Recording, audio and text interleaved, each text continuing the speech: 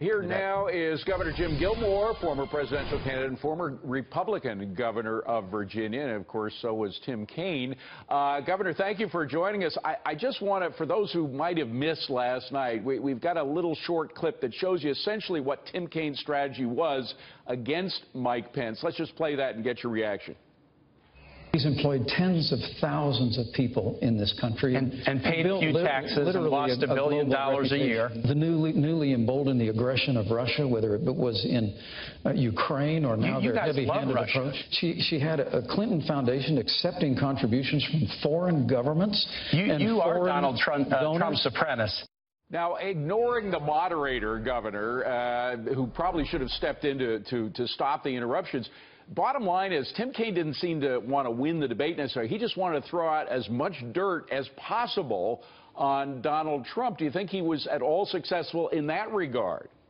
No, I think he uh, shot himself in the foot. I think most people believe that he looked like a child at the dinner table that didn't know how to behave, really. And I think that his strategy wasn't just to interrupt. It was to actually shout down uh, Pence and to not give him the opportunity to make right. his case.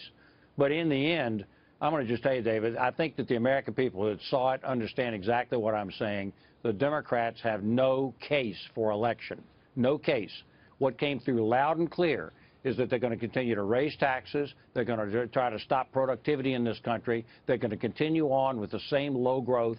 They're going to have a lawless immigration uh, policy. And the international security of this country is in grave danger because of Obama and Clinton, and they're just going to keep trying to do the same well, thing. Governor, the getting back to the debate for a second, uh, the, yeah. the, the point is is that is that Mike Pence is getting a lot of pats on the back saying you weren't drawn in. What what was clear was that uh, Tim Kaine was trying to draw you in, trying to bait you in on these issues, these specific issues, some of which had nothing to do what either with what they were talking about, but he was just trying to draw him.